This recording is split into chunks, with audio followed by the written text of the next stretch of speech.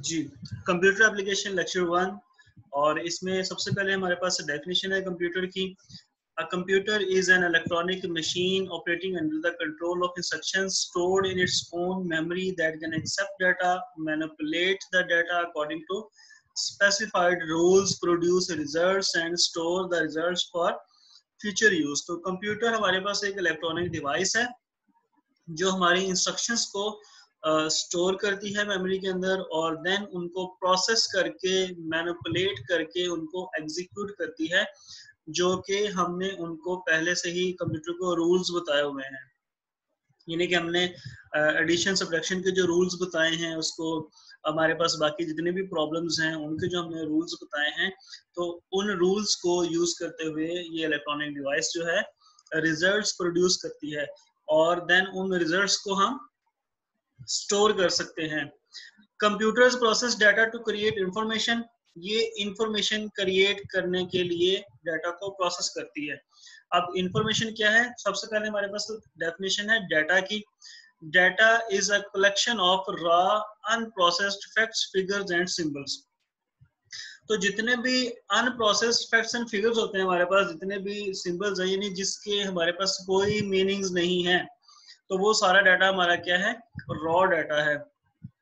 Computer उस raw data को process करता है प्रोसेस करके यूजफुल इंफॉर्मेशन में या मीनिंगफुल इंफॉर्मेशन में कन्वर्ट करता है।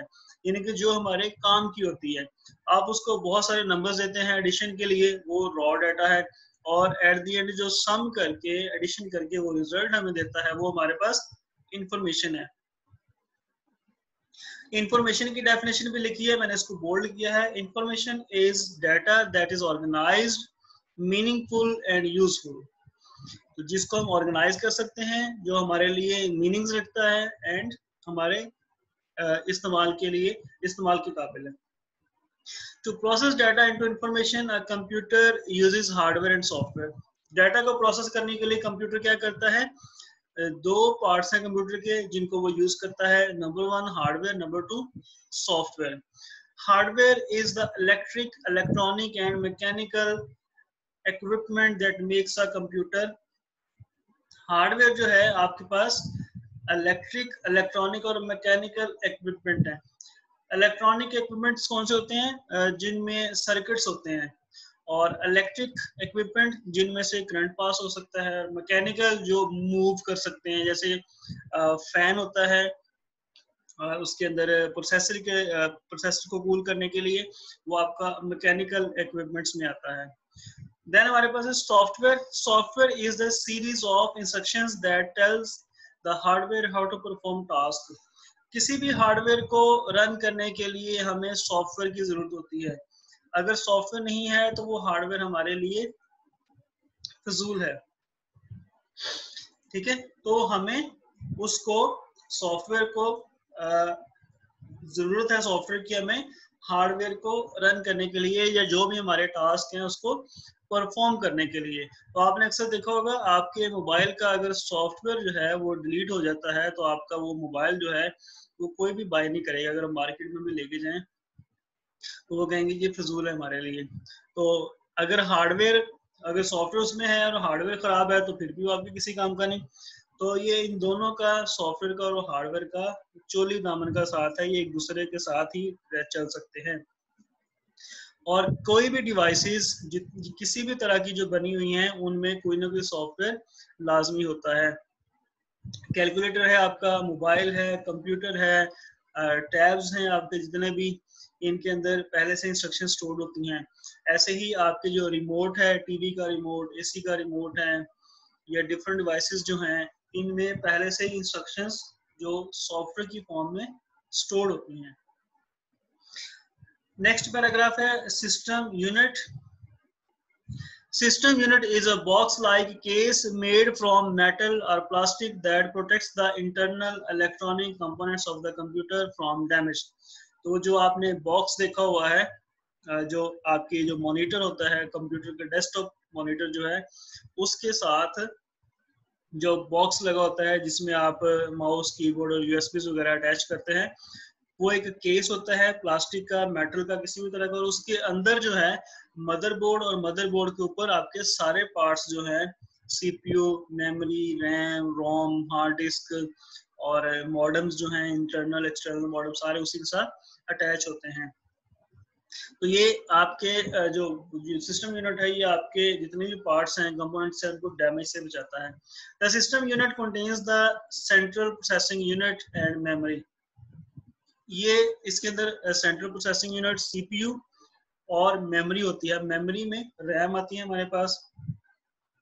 The central processing unit CPU is the electronic device that interprets and carries out the basic instructions to instruction that operate the computer CPU क्या है? सीपीयू हमारे पास central processing unit है, जो हमारी basic instructions को interpret करता है। Interpret करने का मतलब है उसको ट्रांसलेट करता है। ट्रांसलेट करने का मतलब है कि हमारी जो ह्यूमन लैंग्वेज है उसको बाइनरी लैंग्वेज में ज़ीरो वन की फॉर्म में कन्वर्ट करता है और उसके बाद उसको एग्जीक्यूट करके हमारा जो रिक्वायर्ड रिज़ल्ट होता है वो हमें प्रोवाइड uh, करता है। Memory is a temporary holding place for data and instruction memory जो है ये आर्जी तौर पर डाटा को इंस्ट्रक्शंस को स्टोर करने के लिए यूज़ होती है। तो सीपीयू जो है वो टेम्परेरी अगर उसने कोई डाटा स्टोर करना है तो वो मेमोरी के ऊपर उसको स्टोर कर देता है। तो सेंट्रल प्रोसेसिंग यूनिट जो सीपीयू है, इसको ब्रेन ऑफ़ द कंप्यूटर भी कहते हैं हम, क्योंकि सारा काम इसी ने करना होता है। Storage device records and retrieves data to and from a storage medium then हमारे पास स्टोरेज डिवाइस है, जो डाटा को रिकॉर्ड करती है, यानी कि सेव करती है अपने पास। और देन हम उसको रिट्रीव कर सकते हैं। रिट्रीव करने का मतलब है, उसको वापस हम रीड कर सकते हैं, या उसको हमने जो कॉपी करना है, या उसको ओपन करना है, या हमने कोई ओपन करके उसको एग्जीक्यूट करना है तो इसको रिट्रीव कहते हैं। रिकॉर्ड करने का मतलब है, उसके ऊपर डाटा को सेव करते हैं। तो इसके लिए दो टर्म्स यूज़ होती हैं रीड एंड राइट की भी। रीड करना है आपने, अगर स्टोरेज से डाटा यानी कि आपने उससे डाटा गेट करना है तो रीड है, और अगर उसके ऊपर आपने सेव करना है तो वो राइट है। Six common storage devices are a floppy disk drive a zip drive, a hard disk drive, a CD-ROM drive, a CD-RW drive, a DVD-ROM drive and a DVD-RW drive. तो ये बहुत सारी हमारे पास स्टोरेज डिवाइसेस हैं जिसमें USBs और flash devices जो हैं स्टोरेज डिवाइसेस वो भी आ जाती हैं। तो उनमें से ये जो सिक्स कॉमनली जो यूज़ होती हैं ये वो लिखी है आपके पास। फ्लॉपी डिस्क ड्राइव जो है, ये एक 3.5 इंच की जो है डायमीटर की एक डिवाइस है। ये प्लास्टिक के मेटर प्लास्टिक के कवर के अंदर इसको रखा जाता है। और ये जो पहले डेस्कटॉप सिस्टम आते थे, उसमें ये यूज़ होती थी, लेकिन आजकल इसका इतना यूज़ नहीं होता। जिप ड्राइव है हमारे पास, उसके बाद हार्ड डिस्क है। ये आपको पता है हार्ड डिस्क के बारे में।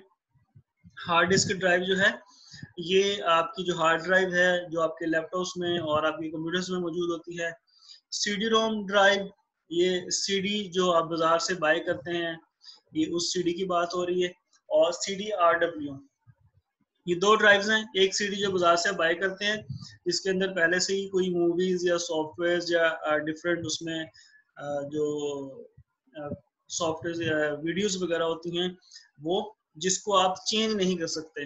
और सीडी जो आर डब्ल्यू है, इसका मतलब है रीडेबल एंड राइटेबल तो आप इसको रीड भी कर सकते हैं और राइट इसके ऊपर राइट भी कर सकते हैं। इसको आप चेंज भी कर सकते हैं। और जो सीडी है, इसका जो साइज़ है, इसकी जो कैपेसिटी है डाटा स्टोर करने की, वो 768 एमबी है। और उसके बाद हमारे पास डीवीडी है। डीवीडी एक डीवीडी रोम है। रीड ओनली मेमोरी जिसको सिर्फ़ आप रीड कर सकते हैं। जिसको आप राइट नहीं कर सकते, और दूसरी है डीवीडी आर डब्ल्यू जिसको हम रीड भी कर सकते हैं और राइट भी कर सकते हैं। उसके ऊपर डाटा जो है वो स्टोर भी कर सकते हैं। तो डीवीडी का जो साइज़ है वो फोर पॉइंट सेवन जीबी होता है। तो फोर पॉइंट सेवन जीबी तक आप डाटा इसके अंदर स्टोर कर सकते हैं। कम्युनिकेशन डिवाइस है। उसके बाद हमारे पास communication device enables computer users to communicate and exchange items such as data instructions and information with another computer तो जब भी आपने एक कंप्यूटर से दूसरे कंप्यूटर के साथ कोई डाटा आपने शेयर करना है, वो आपकी इंस्ट्रक्शंस हो सकती हैं, वो आपके मैसेजेस हो सकते हैं, वो आपकी फाइल्स हो सकती हैं वीडियोस हो सकती हैं। जैसा कि आप ईमेल करते हैं मैसेंजर के ऊपर मैसेजेस करते हैं पिक्चर्स वीडियोस शेयर करते हैं तो वो तब तक नहीं हो सकती जब तक कोई कम्युनिकेशन डिवाइस जो है वो दो सिस्टम के दरमियान कम्युनिकेट ना करवाए।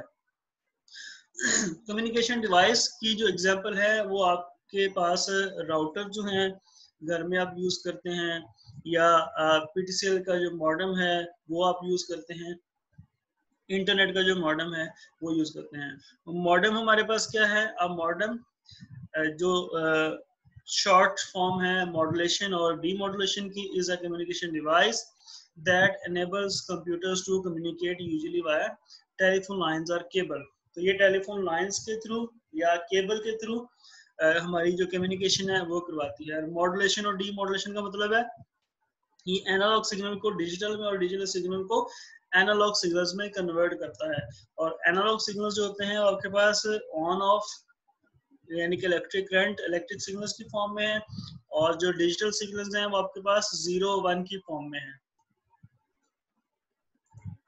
देन हमारे पास सॉफ्टवेयर है। सॉफ्टवेयर सिस्टम सॉफ्टवेयर सॉरी तो हमारे पास सिस्टम सॉफ्टवेयर है। System software consists of programs that control the operations of a computer and its devices.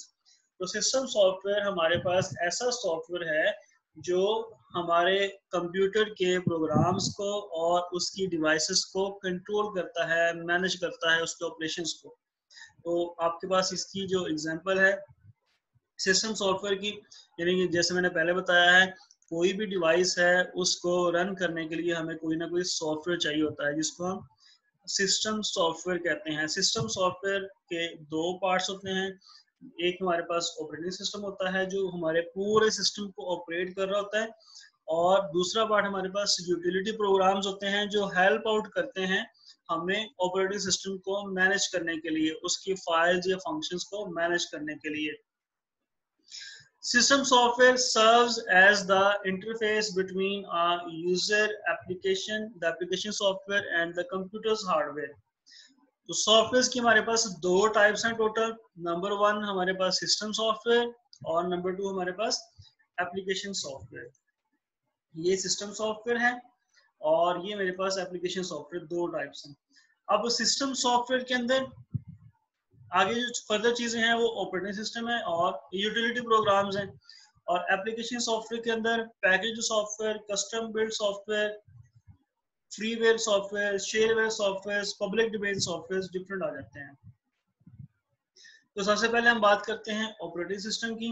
Operating system one type of system software is the operating system before application software can be run the operating system which contains instructions that coordinate the activities among computer hardware devices must be loaded from the hard disk into the computer's memory तो जो operating system है ये आपके जितने भी application software हैं उनको manage करता है और ये आपकी जो हार्ड डिस्क है हार्ड ड्राइव है वहाँ पर ये स्टोर्ड होता है इंस्टॉल्ड होता है।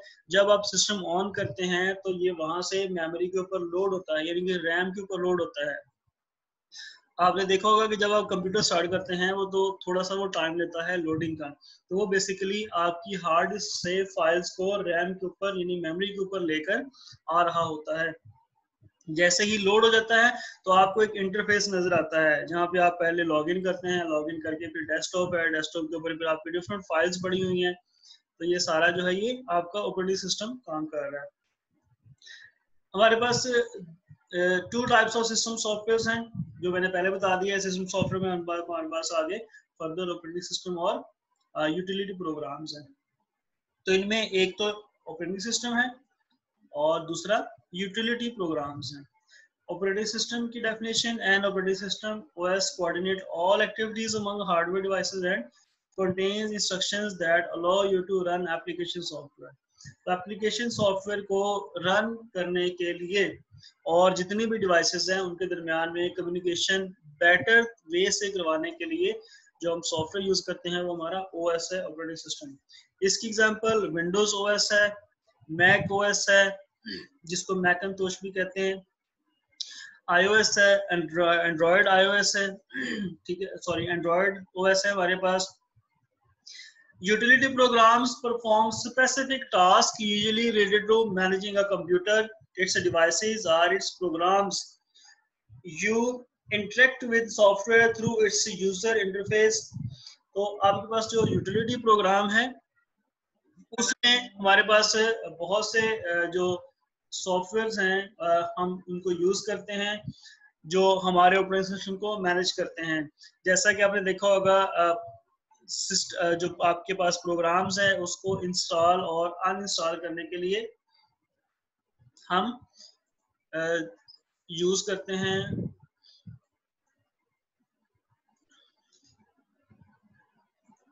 जी तो हमारे पास जितने भी प्रोग्राम्स हैं जो मैनेज करते हैं, अकाउंट्स हम अपने मैनेज करते हैं हम डिफरेंट डिवाइसेस जो हैं प्रिंटर स्कैनर्स वो मैनेज करते हैं। और उसके बाद, जो आपके जितने भी ट्रबल शूट्स आपके ट्रबल शूट्स हैं प्रॉब्लम्स हैं, जो सारी की सारी, वो आप सिस्टम यूटिलिटी प्रोग्राम्स के थ्रू मैनेज करते हैं। उसके बाद हमारे पास फॉर्मवेयर सॉफ्टवेयर है। फॉर्मवेयर सॉफ्टवेयर ऐसा सॉफ्टवेयर होता है, जो पहले से ही उस ड्राइव के अंदर इंस्टॉल्ड होता है। जो भी आपकी डिवाइस है उस डिवाइस के अंदर पहले से ही इंस्टॉल होता है। यानी कि जो मैन्युफैक्चरर है, उन्होंने पहले से उसको इंस्टॉल किया होता है। जैसे कि आप बाज़ार से टीवी बाय करते हैं, उसका रिमोट होता है तो रिमोट में पहले से ही एक सॉफ्टवेयर जो है वो इंस्टॉल्ड हुआ हुआ है। कैलकुलेटर बाज़ार से लेके आते हैं, जो साइंटिफिक कैलकुलेटर है, उसमें पहले से ही एक सॉफ्टवेयर इंस्टॉल्ड होता है। ऐसे ही एम्बेडेड सॉफ्टवेयर होते हैं जो कि आपकी जो गाड़ियाँ हैं कार्स जो हैं, उनके जो डोर्स अनलॉक करने के लॉक करने के, उनकी जो कीज होती हैं रिमोट कंट्रोल वाली कीज वो आप अनलॉक करने के लिए लॉक करने के लिए गाड़ी को यूज़ करते हैं तो उनको एम्बेडेड सॉफ्टवेयर भी कहते हैं। देन हमारे पास है application software application software consist of programs that perform specific task for users Popular application software includes word processing software, spreadsheet software, database software and presentation graphic software. तो किसी भी specific task को perform करने के लिए जो software use होता है उसे एप्लीकेशन सॉफ्टवेयर कहते हैं। अब ये स्पेसिफिक टास्क क्या है? अगर आपने वीडियो प्ले करनी है तो आप मल्टीमीडिया प्लेयर यूज़ करते हैं। अगर आपने कोई फ़ोटो एडिट करनी है तो आप फोटोशॉप यूज़ करते हैं। अगर आपने कैलकुलेशन यूज़ करनी है तो कैलकुलेटर का सॉफ्टवेयर यूज़ करते हैं। ऐसे ही अगर आपने डॉक्यूमेंटेशन करनी है तो एम एस वर्ड यूज़ करते हैं। अगर आपने प्रेजेंटेशन बनानी है तो आप पावर पॉइंट यूज़ करते हैं। तो मतलब हर एक सॉफ्टवेयर जो है, उसके स्पेसिफिक पर्पस हैं। हर एक पर्पस आप ये नहीं हो सकता कि आप वीडियो प्ले करने के लिए कैलकुलेटर का सॉफ्टवेयर यूज़ कर रहे हो। या वीडियो अपलोड करने के लिए फ़ोटो एडिटिंग वाला सॉफ्टवेयर यूज़ करो, ऐसा नहीं होता। तो जो सॉफ्टवेयर जिस पर्पज के लिए बनाया गया है, आप उसी पर्पज के लिए उसको स्पेसिफिक पर्पज के लिए यूज़ किया जाता है। तो उसको हम कहते हैं एप्लीकेशन सॉफ्टवेयर देन हमारे पास इसकी टाइप्स हैं एप्लीकेशन सॉफ्टवेयर की। सबसे पहले इसमें टाइप है पैकेज सॉफ्टवेयर पैकेज सॉफ्टवेयर इसके नाम से ही पता चल रहा है कि ये हमारे पास एक कंप्लीट पैकेज होता है। मींस कि इसमें मल्टीपल सॉफ्टवेयर आपको एक ही जगह पर दे दिए जाते हैं।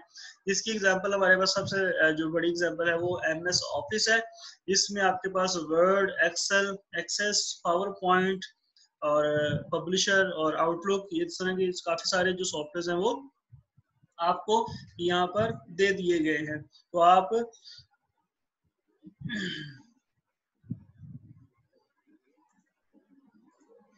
तो आप उसको यूज़ करते हैं, जितने भी आपके सॉफ्टवेयर हैं। तो पैकेज सॉफ्टवेयर उसके बाद हमारे पास है कस्टम सॉफ्टवेयर कस्टम सॉफ्टवेयर जो है, इसको हम कस्टम बिल्ड सॉफ्टवेयर भी कहते हैं और tailor made software develop a user request तो ये इस तरह के सॉफ्टवेयर होते हैं जो यूज़र की रिक्वेस्ट पर जो है डेवलप किए जाते हैं। यूज़र रिक्वेस्ट करता है कि मुझे इस तरह का सॉफ्टवेयर बना दें, मुझे ये वाला सॉफ्टवेयर चाहिए। फॉर एग्ज़ाम्पल एक जनरल स्टोर वाला है तो वो आपके पास आगे कहेगा कि मुझे मेरे जनरल स्टोर के लिए एक सॉफ्टवेयर बना दे, उसमें ये ये जो फ़ंक्शन है वो होने चाहिए। ऐसे ही एक मेडिकल स्टोर वाला है, या एक फैक्ट्री है, या एक अकेडमी है, या स्कूल है, वो कहेंगे जो हमें अटेंडेंस सिस्टम बना दें, या कोई वेबसाइट है तो हर एक जो अपनी रिक्वेस्ट के ऊपर यूज़र की रिक्वायरमेंट्स के ऊपर जो सॉफ्टवेयर बनता है, उसको कस्टम बिल्ड या कस्टम सॉफ्टवेयर कहते हैं। देन हमारे पास फ्रीवेयर सॉफ्टवेयर हैं।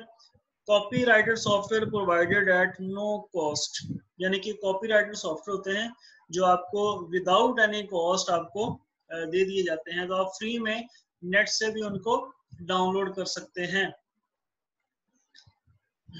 तो आपको ये जितने भी सॉफ्टवेयर हैं वो सारे के सारे फ्रीवेयर सॉफ्टवेयर हैं। तो जो भी आप फ्री में सॉफ्टवेयर नेट से डाउनलोड करते हैं इंस्टॉल करते हैं अपने लैपटॉप में या मोबाइल में, वो सारे के सारे फ्रीवेयर सॉफ्टवेयर हैं public domain software software donated for public use with no copyright restrictions तो ऐसे सॉफ्टवेयर जो पब्लिक के लिए हो और जिसके ऊपर कॉपीराइट के भी कोई रिस्ट्रिक्शंस ना हो तो वो आपके पास पब्लिक डोमेन सॉफ्टवेयर होते हैं।